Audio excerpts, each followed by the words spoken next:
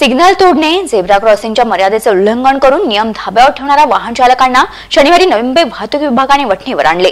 वाशी शिवाजी चौक येथे कारवाईची मोहीम अंमलात आणून वाहनधारकांना वाहतूक नियमांचे पालन करण्याची सक्ती केली आहे.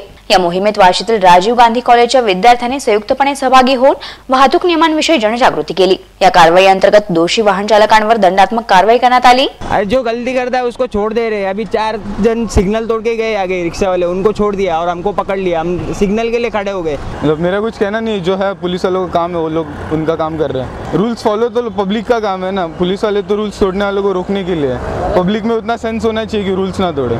वाहतूक पोलिसांकडून या कारवाईत सातत्य ठेवणार असल्याचे पोलीस निरीक्षक शिरीष पवार यांनी स्पष्ट केलं आणि वाहतूक नियमांचे उल्लंघन करणाऱ्यांवर अंकुश ठेवणार असल्याची भूमिकाही त्यांनी मांडली. जेब्रा क्रॉसिंग आम लोगों के लिए है. ये हम लोगों में संदेश प्रसारित करना चाहते हैं. जेब्रा क्रॉसिंग के आगे कोई गाड़ी नहीं लाए.